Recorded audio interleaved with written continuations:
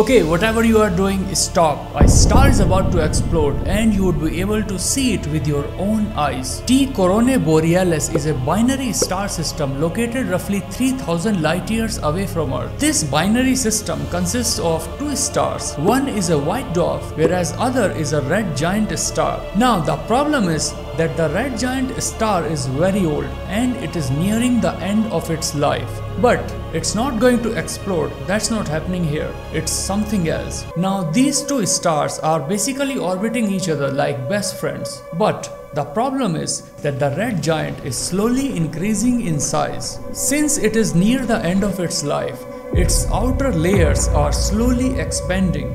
Over millions of years, its size is really going very large. Now, here comes our white dwarf, which is much smaller, but since these two are orbiting each other, the layers as they are expanding, they are coming in contact with the gravity of the white dwarf.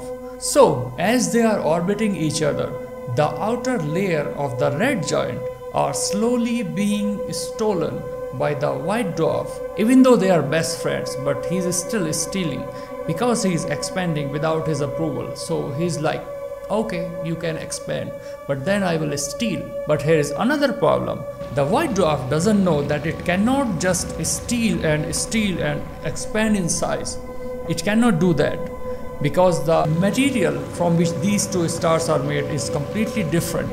So as the white dwarf is stealing matter from the red giant the matter is slowly being accumulated around the white dwarf. And when enough gases from the red giant has piled up on the surface at one point a nuclear fusion will take place on the surface of the white dwarf and as soon as it ignites it is going to create a huge explosion. Now, this is not going to kill us, we are safe. But what it will do is that as you are looking in the sky, suddenly at any time before September 2024, you are going to see one more additional star.